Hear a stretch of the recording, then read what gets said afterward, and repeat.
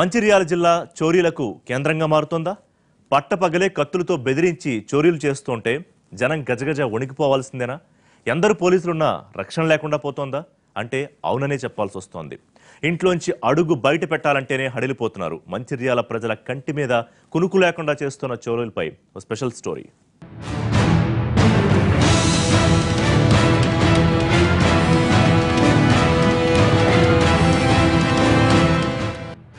మంచిర్యాల జిల్లాతో పాటు పట్టణ కేంద్రంలో వరుస దొంగతనాలు జరుగుతున్నాయి.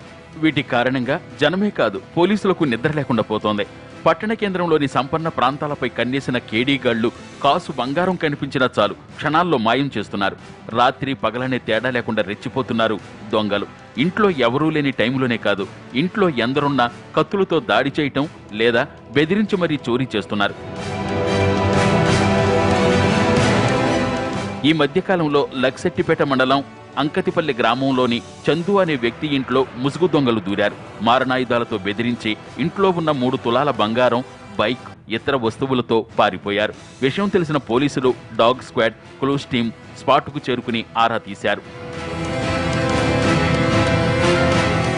శ్రీరాంపూర్ సీసీ హజీపూర్ మండలంలో సైతం చోరీలు జరిగాయి ఇక తాజాగా మంచిర్యాల పట్టణ కేంద్రంలో ఉదయం పదకొండున్నర గంటల సమయంలో మారుతి ప్రసాద్ అనే మరో వ్యక్తి ఇంట్లో దొండగుడు చొరబడ్డాడు ప్రసాద్ భార్య సీతాదేవిని కత్తితో పొడుస్తామని బెదిరించి మెడలోని నగలు చేతికున్న ఉంగరాలను సైతం నిలువు దోపిడీ చేశారు ఇంటికి ముందు గడియ పెట్టి మరీ పారిపోయారు बाद में चाकू निकाला वो, और खाली बंगारम बंगारम बोला फिर निकाल के दे दिए उसको दे दिए फिर बाद में जाते वक्त टाइम पर बोला तलपी पेट्टू। वो बोलने के बाद में मैं डोर लगाई। डोर लगाई तो वो यहाँ तक भी नहीं गया। फिर वापस आया, वो दरवाज़ा ऐसे खटखटाया। फिर मैं खोली नहीं। बंगारा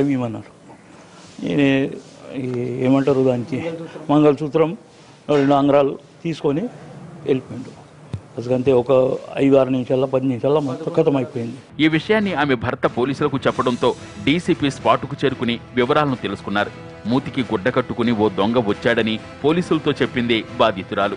ఇలా కేడీ ముఠాల ఆగడాలు రోజురోజుకు పెరుగుతున్నాయి. పోలీసులు నిఘా ముమ్మరం చేసినా చోరీలకు బ్రేక్ పట్టడం లేదు. మంచిర్యాల పట్టణంలో రెండు వేల పద్దెనిమిది జనవరి నుంచి ఇప్పటి వరకు అరవై మూడు చోరీలు జరగ్గా అందులో ముప్పై తొమ్మిది చోరీ కేసుల్లోని దొంగలు దొరికారు. మిగిలిన ఇరవై నాలుగు చోరీ కేసుల్లోని దొంగలు ఇంకా దొరకలేదు.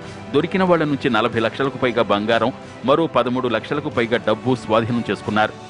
ఆల్రెడీ స్టార్ట్ చేశాము. అక్కడ చుట్టుపుట్ట ఉన్న సీసీటీవీ కెమెరాస్ కూడా వెరిఫై చేస్తున్నాము. తర్వాత ఇంకొక ఇన్సిడెంట్ కూడా అయింది లక్ష్మీపేట్లో. That also will see whether is there any connection and we are devising a plan of action also ACP and CI and all wills going to sit and devise device చేయాలి అని మేము త్వరగానే వాళ్ళని పట్టుకోవడానికి పూర్తి ప్రయత్నం చేస్తాం. సీసీ కెమెరాలను పెంచుతామని షీ టీమ్స్ను కూడా మరింత ఎక్కువ చేస్తామని గల్లీ గల్లీకి గస్తీ ఉండే ఏర్పాట్లు చేస్తామంటున్నారు పోలీసులు. పోలీసులు ఉన్నారన్న నమ్మకమే కాదు పట్టణ ప్రజలు కూడా అప్రమత్తంగా ఉండాల్సిందేనంటున్నారు కొత్తగా వచ్చిన డీసీపీ. ఇంతకీ కత్తులు పట్టుకుని తిరిగే ముఠాలు ఎక్కడివి? ఈ కేటుగాళ్ళు లోకలా నాన్ లోకలా ఇది ఎవరి పని? అనే వివరాలు సైతం ఆరా తీసే పనిలో ఉన్నారు పోలీసులు.